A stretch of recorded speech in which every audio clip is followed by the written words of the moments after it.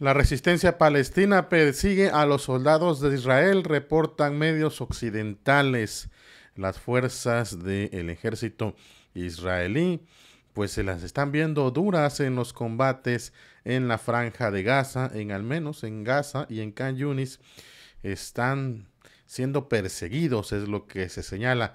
Israel ha continuado sus bombardeos indiscriminados, ahora le tocó a una guardería en el sur de la franja de Gaza, una guardería.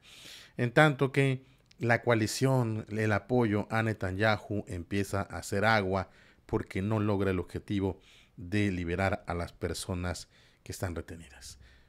Hola amigas y amigos, qué gusto saludarlos en el canal. Gracias que están viendo los videos, gracias por el apoyo, el respaldo de siempre.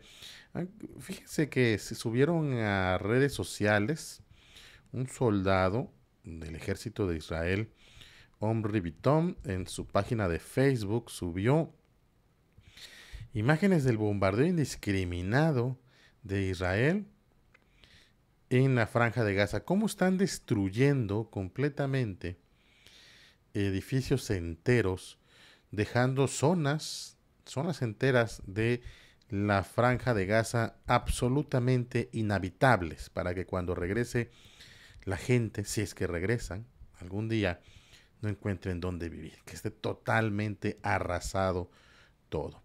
Esa política de arrasar todo va en concordancia con lo ocurrido la noche del sábado, cuando un ataque de Israel contra una guardería, bueno, tuvo la verdad es que bastantes repercusiones. Las fuerzas de defensa de Israel se decía que eh, bombardearon la noche de este sábado una guardería en la ciudad de Rafah, en el sur de la franja de Gaza, dejando varios civiles que perdieron su vida, incluido dos menores y decenas que requirieron atención según la agencia WAFA.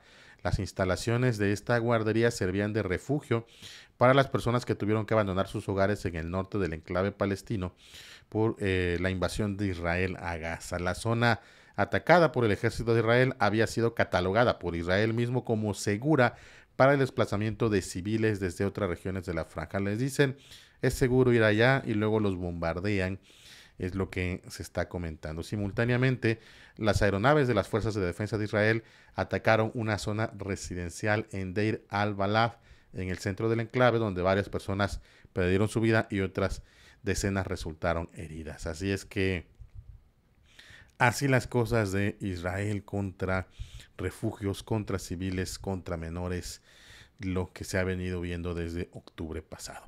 La realidad en el terreno, cuando ya se le toca enfrentar a personas que eh, tienen con qué defenderse, es distinta según la prensa occidental. Reuters reporta este domingo que la resistencia palestina en Gaza persiguió a las fuerzas israelíes en las principales ciudades. Ahí ya la situación cambia. Decía eh, Reuters este 4 de febrero que palestinos eh, continuaron los ataques, o sea, obviamente eh, de la resistencia palestina, continuaron los ataques contra las fuerzas israelíes el domingo en las dos principales ciudades de la franja de Gaza, semanas después de que fueran invadidas por tropas y tanques, en una señal de que esta resistencia palestina todavía mantiene cierto control antes de cualquier posible tregua, es lo que decían estos reportes de las agencias occidentales que últimamente se han empezado a dar cuenta de lo que está ocurriendo, del genocidio que está ocurriendo en este lugar, precisamente a raíz de que Netanyahu se ha puesto muy retador con Estados Unidos, con el presidente Biden y con la élite estadounidense.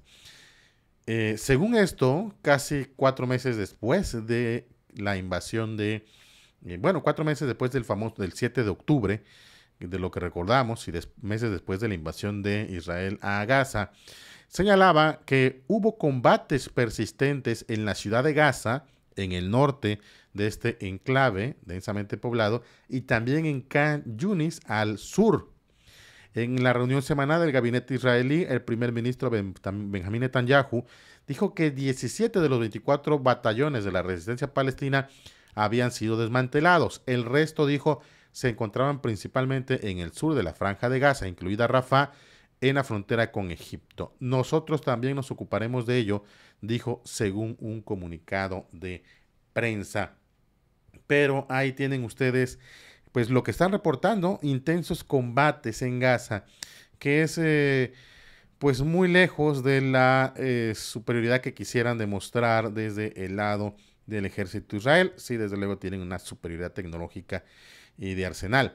El asunto es aquí que en el cuerpo a cuerpo, en la calle, en la batalla urbana, o lo que queda de lo que fue en algún momento una ciudad, eh, pues las fuerzas israelíes siguen, están siendo perseguidas, dicen los medios como Reuters. Interesante estos reportes que llegaban. Apenas el sábado, fíjense que miles de israelíes salieron a las calles para exigir la liberación de, de las personas que están retenidas. Miles de personas se congregaron en las ciudades de Tel Aviv y Jerusalén para presionar al gobierno de Israel para que haga más. Según los medios locales, manifestantes exigieron que las autoridades israelíes lleguen a un acuerdo inmediato. Portaban pancartas que recordaban al gobierno y a sus ministros su responsabilidad con los que están retenidos.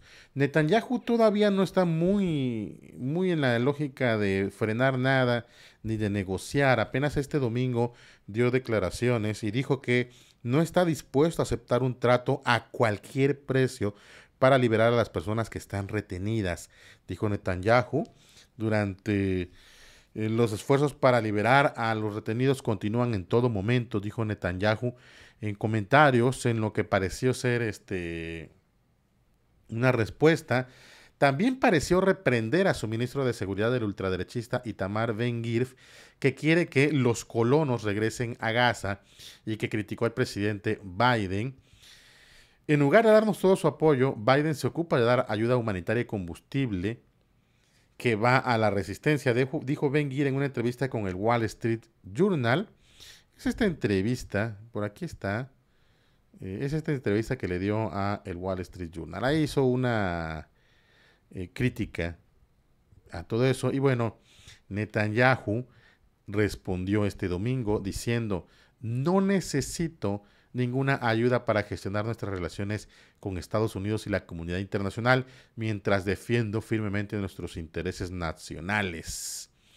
El pueblo de Israel recordará para siempre cómo usted defendió el derecho de Israel en una de nuestras horas más difíciles. Eh, tuiteó Benny Gantz. Así es que bueno, ahí están. Ahí empieza a ver ya la, eh, pues una cierta ruptura. Bueno, ya hay, una, hay un problema en la coalición que apoya a Netanyahu. En cuanto la guerra se acabe, muchos analistas señalan, también se acabará Netanyahu. Y para eso tiene que seguir con esta guerra, con el genocidio, evidentemente en Gaza. Gracias por estar en este canal, por ver estos videos.